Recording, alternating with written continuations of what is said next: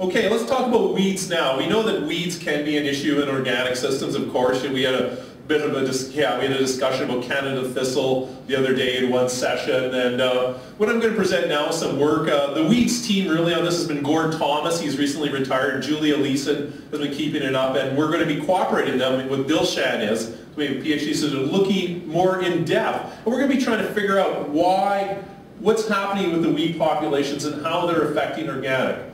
Um, so let's first look at the prior to spring disturbance weed counts. Actually, let's skip this because I want to get to the, I thought, I actually thought I had way more time than I have. So we're just going to, let's get to the residual weed counts. These are the weed counts that are left after, that are, that are left to go to maturity in the crop. These are the ones that are left after you in-crop harrow or a conventional farmer would spray. These are the crops that are, the weeds that are left. And what we indeed do see in this, uh, in these, in these um, uh, pictures here, I'm just going to step up here.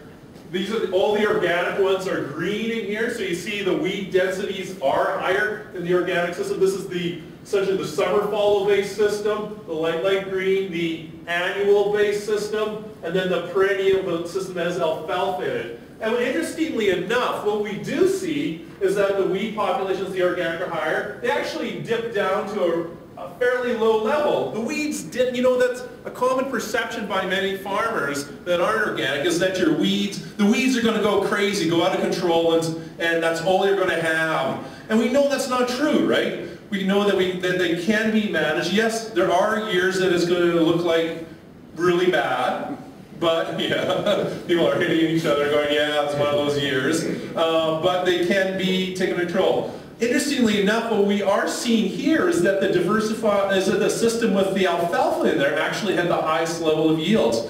But there's going to be a contradiction here. I'm kind of uh, I'm kind of jumping ahead. There's something here that tweaked our interest. So the perennial system is showing higher weed counts after you know in crop, and these are the weeds that are producing seeds.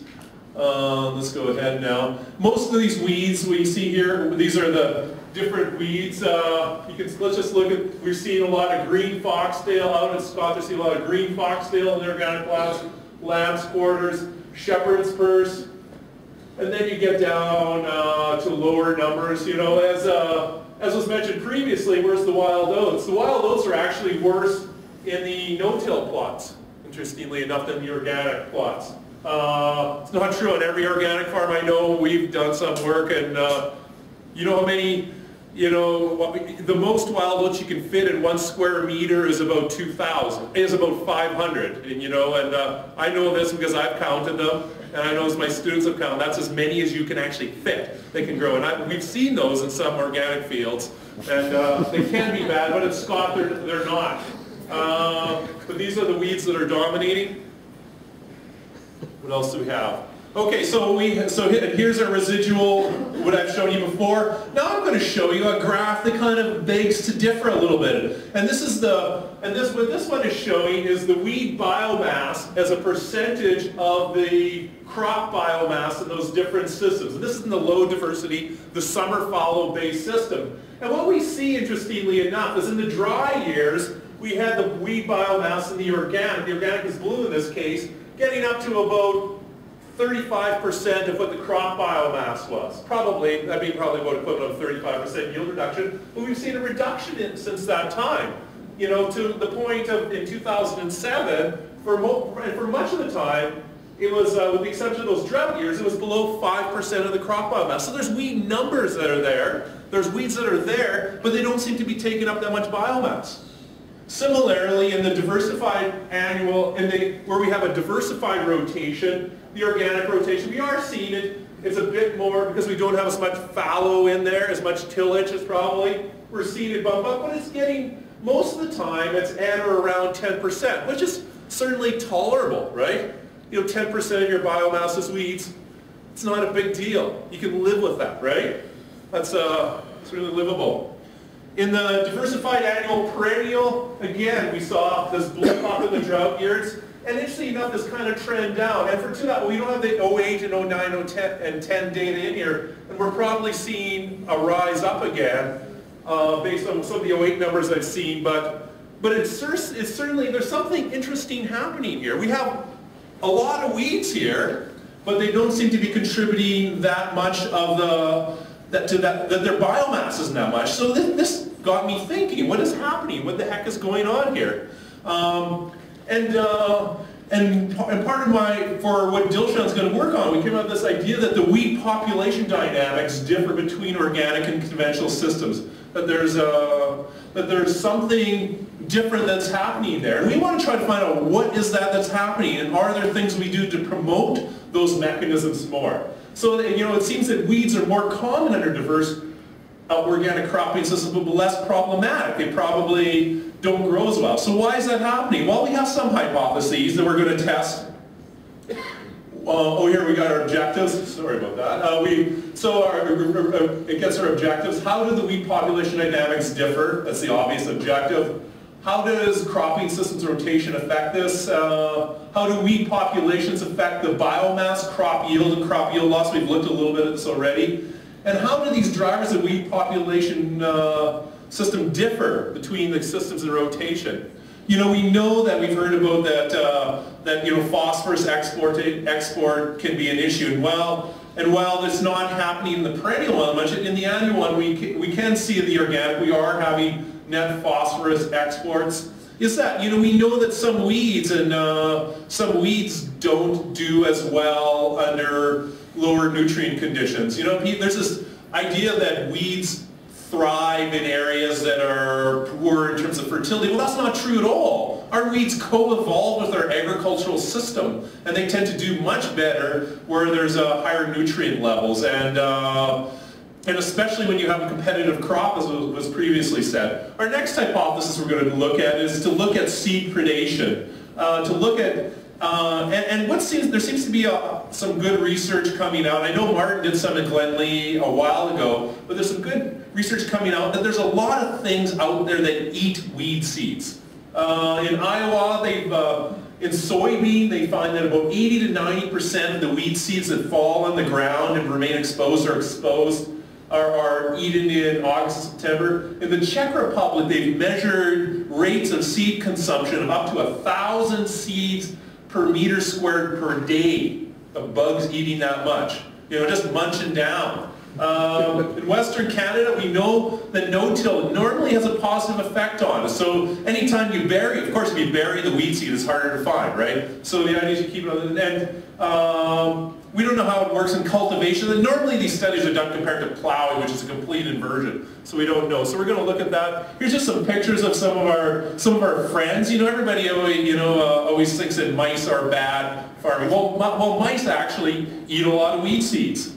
Turns out they're you know they're but their populations are variable, maybe cyclical. Birds eat weed seeds too, but they're not that important in terms of how much they eat if you look at the literature. Invertebrates like carabids, which is in a picture there, and ants, they're not important in arable agriculture because we usually rip up their uh, homes and they don't do well when you tear them up. Uh, and crickets, ants and crickets tend to be our, our, our friends in terms of eating weed seeds. If you look at their, so carabid beetles, uh, if you look at them, they're omnivores. Sometimes they've been classified into uh, ones that eat seeds and ones that don't, but I've talked to essentially the world expert in carabids, and he says, that ain't true. He says, they're like us. They'll eat, if they're, when they're hungry, they'll eat anything. You know, there's, there's something good and nutritious and full of energy there, they'll chow down on it. Uh, insects, seeds, larvae, whatever, you know, rotting organic matter. You know, some may prefer weed seeds more.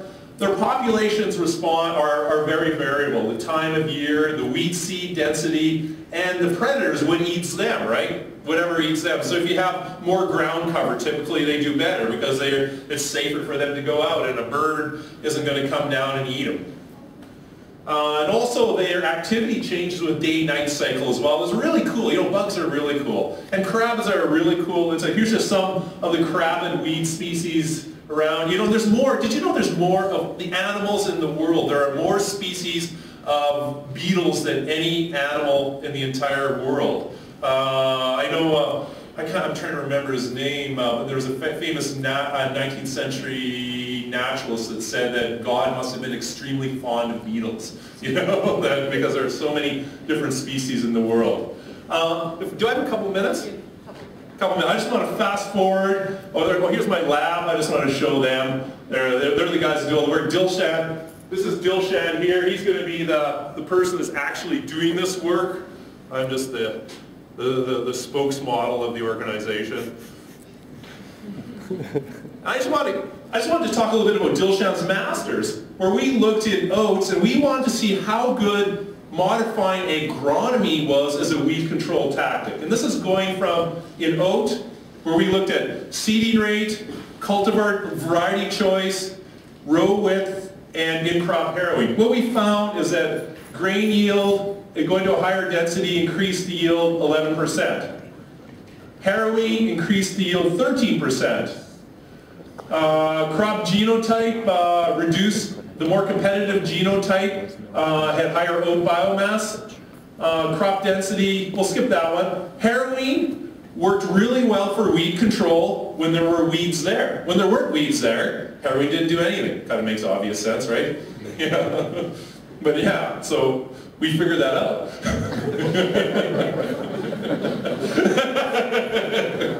uh, weed biomass, a more competitive variety, reduced weed biomass by 22%. This is using a forage variety, a very, you couldn't sell it for seed, but we're using it as a model genotype. Weed density, by having seeding at a double the recommended seed rate, reduced our weed density by 52%. The great thing is when you start putting this stuff together, by, in terms of grain yield, by using in-crop harrowing and a high crop density, we increased our yield 25%. And this is over regular agronomy. I'm not talking over doing a bad job of growing the oats. This is how a normal producer would grow the oats. So this is by using like supercharged agronomy, really good crop management. You can increase your yield 25%. This is done under organic conditions, good, good organic weeds. You know, uh, weed biomass, by using competitive cultivar and high cropping density, we reduced our weed biomass 62%. Harrowing, adding harrowing and high crop density, 65%. When we added a competitive cultivar, high crop density, and harrowing, we reduced our weed biomass 71%.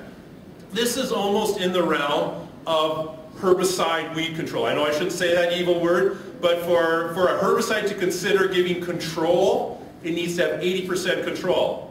So we're, you know, getting up there. We're, you know, this, this is average. This is over four site years. You know, real, real data. So we're pretty excited about this stuff too. So uh, that's a little snapshot of what I'm going to do and what I have done, and that's it.